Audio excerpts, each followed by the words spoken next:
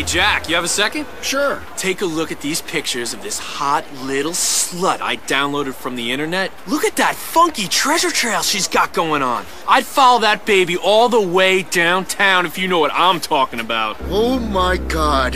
That's my daughter, Karen! Yeah! The internet may appear new and fun, but it's really a porn highway to hell. If your children want to get on the internet, don't let them. It's only a matter of time before they get sucked into a vortex of shame, drugs, and pornography from which they'll never recover. The internet. It's just not worth it. This message brought to you by Citizens United Negating Technology for Life and People's Safety.